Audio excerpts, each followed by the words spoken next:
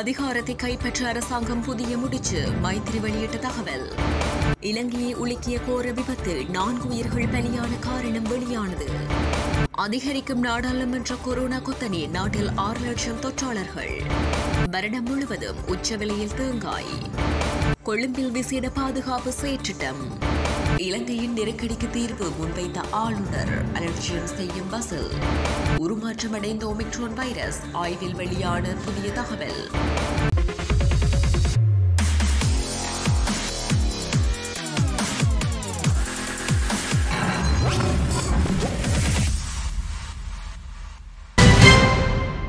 அதிகாரத்தை மீண்டும் கைப்பற்றுவதாக அரசாங்கம் புதிய முடிச்சு ஒன்றை இடுவதற்கு தயாராகியுள்ளதாக ஸ்ரீலங்கா சுதந்திர கட்சியின் தவிசாளரும் முன்னாள் ஜனாதிபதியுமான மைத்ரிபால சிறிசேன தெரிவித்துள்ளார். ஜனாதிபதி தேர்தலுக்கு குறைந்தது இரண்டரை வருடங்கள் உள்ள நிலையில் அரசாங்கம் புதிய அரசியலமைப்பில் திருத்தங்களை மேற்கொண்டு ஆட்சியை தக்கவைத்து முயல்வதாகவும் அவர் குறிப்பிட்டுள்ளார். பெரும்பாலும் நாட்டில் அடுத்ததாக தேசிய தேர்தல் நடைபெறும் என தாம் எதிர்பார்ப்பதாகவும் மைத்ரிபால சிறிசேன மேலும் தெரிவித்துள்ளார். பெலியத்தவிலிருந்து அனுராதபுரம் நோக்கி பயணித்த ரயிலுடன் பூச வெல்பட புகையிடத கடவையில் முச்சக்கர வண்டி மோதியதில் ஒரே குடும்பத்தைச் சேர்ந்த நால்வர் நேற்று காலை உயிரிழந்துள்ளதாக ரத்கம காவல்துறையினர் தெரிவித்தனர்.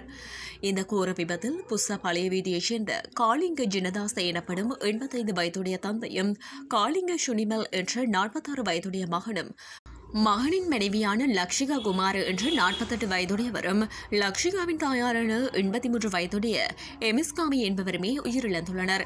உயிரிழந்த நால்வரும் கிராம சேவகரை சந்திப்பதற்காக சென்ற வீடு திரும்பிய போது இந்த சம்பவம் இடம்பெற்றுள்ளது. இந்த ரயில் வீதிக்கு பாதுகாப்பு கடவை ஒன்று இல்லை எனவும் அந்த பகுதியில் போதிய வெளிச்சம் இல்லை எனவும் அந்த பகுதி மக்கள் குற்றம் சுமத்துகின்றனர். மகனால் முச்சக்கர வண்டி ஓட்டப்பட்டுள்ள நிலையில் பாதுகாப்பு கடவை இல்லாமையினால் பாதுகாப்பற்ற ரயில் வீதியூடாக பயணித்த போது ரயிலில் முச்சக்கர வண்டி மோதுண்டு விபத்து ஏற்பட்டுள்ளது. இந்த விபத்தில் முச்சக்கர வண்டியில் பயணித்தவர்கள் அனைவரும் வீசப்பட்ட நிலையில் கிடந்தனர்.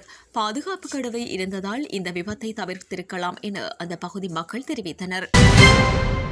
இலங்கையில் நாடாளுமன்றத்தில் கோவிட் தொற்றுடையவர்களின் எண்ணிக்கை இருபத்தி ஏழாக உயர்வடைந்துள்ளது. நாடாளுமன்றத்தில் பணியாளர்கள் மத்தியில் தொடர்ந்தும் அதிகரித்து வருகின்றது. அண்மை காலத்தில் கொரோனாவில் நாடாளுமன்றத்தின் நிதி பணிப்பாளர் பாதிக்கப்பட்டுள்ளார். அத்துடன் உணவு விநியோக சேவையில் உள்ள சுமார் பத்து பேர் தொற்றுடன் கண்டறியப்பட்டுள்ளனர். இந்நிலையில் தொற்றுக்குள்ளாகியிருந்த சபாநாயகர் மஹிந்த ஜாப அபிவர்த்தன குணமாகியுள்ளதாக தெரிவிக்கப்பட்டுள்ளது. இதற்கிடையில் நாடாளுமன்ற புதிய கூட்டத்தொடர் ஆரம்பிக்கப்பட்ட நாளிலிருந்து பன்னிரண்டு பேர் கொரோனா கொரோனா தொற்றினால் பாதிக்கப்பட்டுள்ளனர். இதேவேளை இலங்கையில் இதுவரை காலத்தில் பதினைந்தாயிரத்து நானூற்று எழுபத்தி நான்கு பேர் கொரோனாவினால் இறந்துள்ளனர்.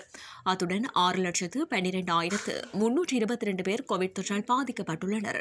ஐந்து லட்சத்து எழுபத்தெட்டாயிரத்து எண்ணூற்று நாற்பத்தொன்பது பேர் தொற்றிலிருந்து குணமாகியுள்ளனர். இவ்வாறு இருக்க கொரோனாவை கட்டுப்படுத்த வேண்டிய பொறுப்பு பொது மக்களிடம் உள்ளது என சுகாதாரத்துறை அறிவித்துள்ளது. சதோச வலியமைப்பினூடாக எழுபத்தைந்து ரூபாய் என்ற நிலையான விலையில் ஆண்டு முழுவதும் தேங்காய்களை நுகர்வோர் பெற்றுக்கொள்ள முடியும் என வர்த்தக அமைச்சர் பந்துலகுணவர்த்தன தெரிவித்துள்ளார். நேற்று தினம் இடம்பெற்ற ஊடகவியலாளர் சந்திப்பில் அமைச்சர் இதனை தெரிவித்துள்ளார். நாட்டில் தேங்காய் விலை அதிகரித்துள்ள நிலையில் நுகர்வோர் நியாயமான விலையில் தேங்காயை பெற்றுக்கொள்வதை உறுதி செய்வதற்காக பெருந்தோட்ட அமைச்சு தென்னை ஆராய்ச்சி நிறுவனமும் வர்த்தக அமைச்சு மற்றும் லங்கா சதோச விற்பனை வலையமைப்புடன் ஒப்பந்தம் ஒன்றை மேற்கொண்டுள்ளன. இலங்கையில் எழுபத்தி நான்காவது சுதந்திர தின நிகழ்வை முன்னிட்டு கொழும்பு நகர் உள்ளிட்ட மேல் மாகாணத்தை உள்ளடக்கும் வகையில் விசேட பாதுகாப்பு செயற்றிட்டம் நடைமுறைப்படுத்தப்பட உள்ளதாக மேல் மாகாணத்துக்கு பொறுப்பான பிரதி காவல்துறை மா அதிபர் தேசபந்து தினகோன் தெரிவித்துள்ளார். சுதந்திர தின நிகழ்வுகளுக்கான பாதுகாப்பு ஏற்பாடுகள் குறித்து தகவல் வெளியிடும் போது அவர் இதனை குறிப்பிட்டுள்ளார்.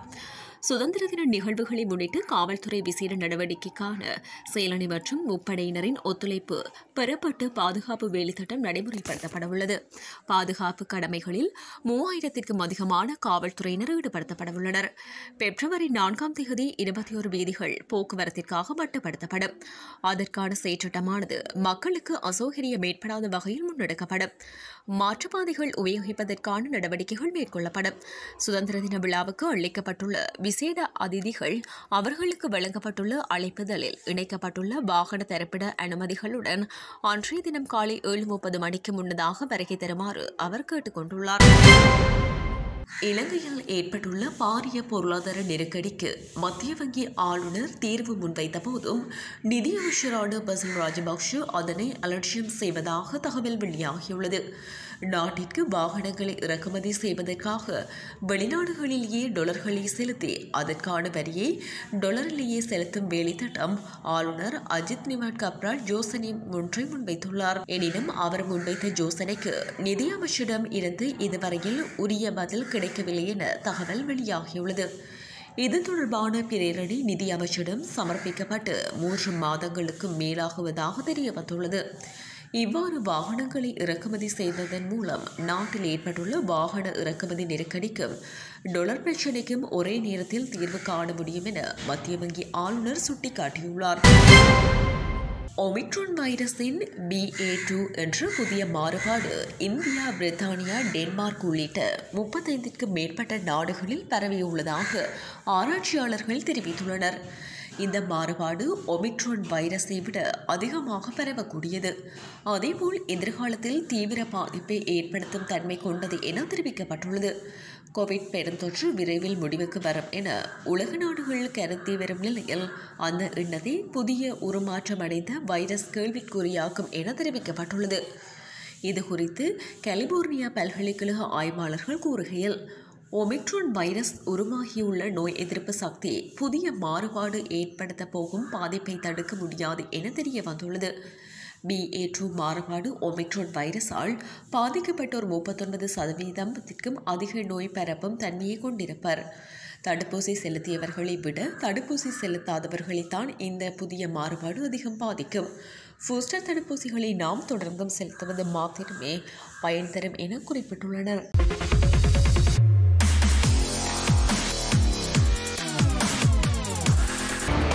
அதிகாரத்தை கைப்பற்ற அரசாங்கம் புதிய முடிச்சு. மைத்திரி வெளியிட்ட தகவல். இலங்கையை உலுக்கிய கோர விபத்தில் நான்கு உயிர்கள் பலியான காரணம் வெளியானது. அதிகரிக்கும் நாடாளுமன்ற கொரோனா கொத்தனி நாட்டில் ஆறு லட்சம் தொற்றாளர்கள். வருடம் முழுவதும் உச்ச விலையில் தேங்காய். கொழும்பில் விசேட பாதுகாப்பு செயற்றிட்டம். இலங்கையின் நெருக்கடிக்கு தீர்வு முன்வைத்த ஆளுநர் அலட்சியம் செய்யும் பசில். உருமாற்றமடைந்த ஒமிக்ரோன் வைரஸ் ஆய்வில் வெளியான புதிய தகவல்.